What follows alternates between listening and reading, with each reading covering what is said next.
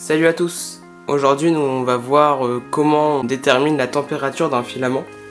Donc euh, j'ai reçu une nouvelle bobine de filament donc euh, du Evrion et donc on peut voir qu'il est écrit que on peut le mettre à température entre 190 et 220 degrés.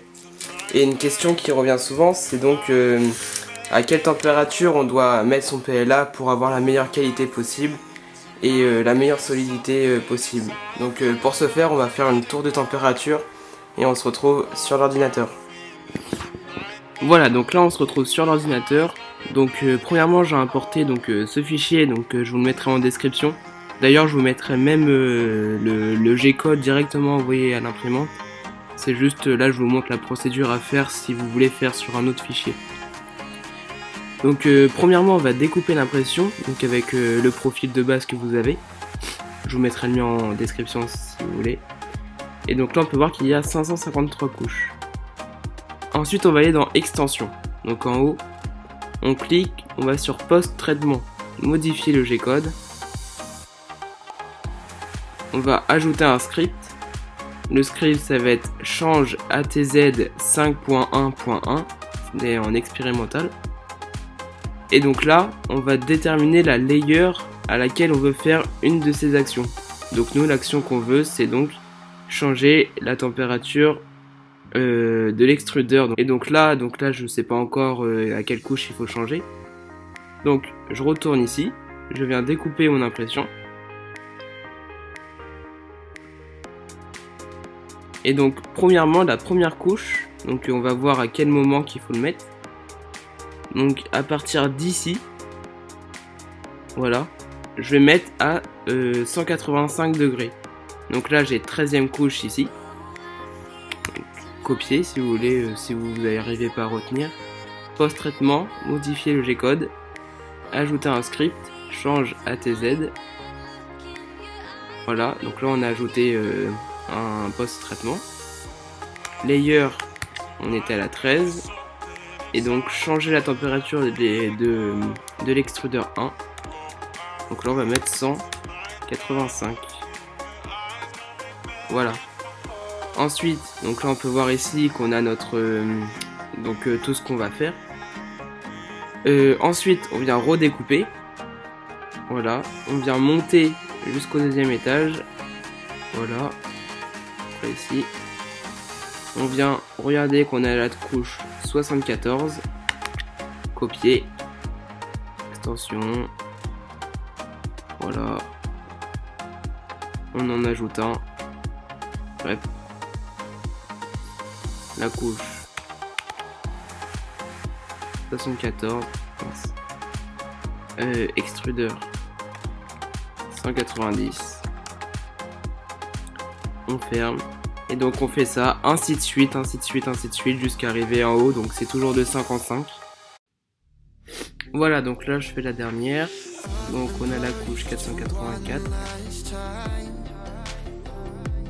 Voilà, donc là j'ai la première à 185, ensuite 205, etc. etc. Donc là on a toutes les couches que l'imprimante va changer. Là on découpe, on l'enregistre sur la carte SD et on peut aller imprimer. Voilà, donc là, euh, ne vous inquiétez pas, donc là on peut voir que c'est ça imprime mal, donc c'est vraiment fait exprès, vous inquiétez pas, ça va bien se passer, ça va pas...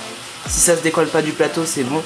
Donc vraiment, si ça imprime mal, que vous voyez que c'est pas bien, donc c'est bien le but de, de cette tour, c'est bien de voir euh, quelle température il y a des défauts ou non. Donc euh, laissez-la tourner jusqu'au bout sans l'arrêter. Voilà, donc là l'imprimante euh, vient de finir d'imprimer. Donc on va décoller ça. Voilà, donc là on va donc pouvoir déterminer le résultat. Donc là on va pouvoir déterminer la température idéale pour ce filament. Donc euh, premièrement, la première vérification à faire c'est la solidité du filament. Donc premièrement, on va essayer de pousser sur les sur les sur les sur les ponts. Donc là on voit déjà que 185 degrés, on aurait une impression qui sera pas solide. Ensuite, on essaye. Donc regardez. Si je pousse, on a donc euh, ça s'en va directement. Après, on peut donc essayer ici. C'est pas solide du tout. Voilà. Donc, pour la majorité des filaments, ce sera toujours comme ça. Voilà. Donc maintenant, euh, second test, donc avec le 90. Donc on essaye de... Voilà, donc c'est toujours pas assez solide. Voilà, donc là 190, ça commence à devenir solide, mais c'est encore... Euh, c'est encore un petit peu trop, trop cassant. Voilà. Donc maintenant 195. On voit qu'on a quelque chose d'assez solide. Et non.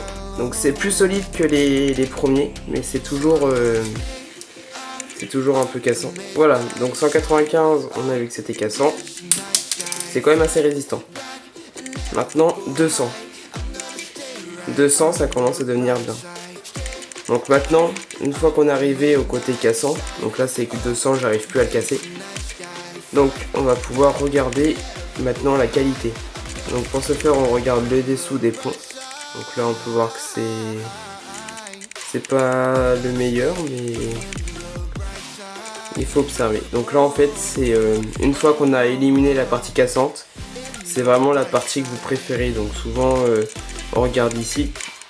Donc la partie qui a été le mur ici, mais pour mon cas euh, il y en a beaucoup qui sont pareils. Il faut bien observer sur tous les angles et après vous déterminer la température qu'il vous faut. Donc voilà, donc après, donc je les ai tous détachés, donc euh, les derniers avec la petite pince. Et euh, donc euh, les deux derniers que je garde, du coup, bah, ce sera les, le 205 degrés pour moi, ou le 200 degrés.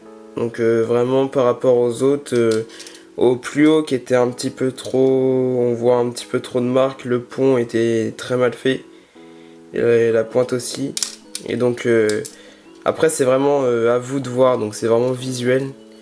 Donc euh, faut tout de suite éliminer ceux où c'est pas du tout euh, solide. Donc euh, c'est ce que j'ai fait. Puis après, le plus chaud souvent bah, c'est pas bon. Le moins chaud donc c'est aussi le moins bon. Et donc après là pour moi vraiment je suis à 200, 205 degrés.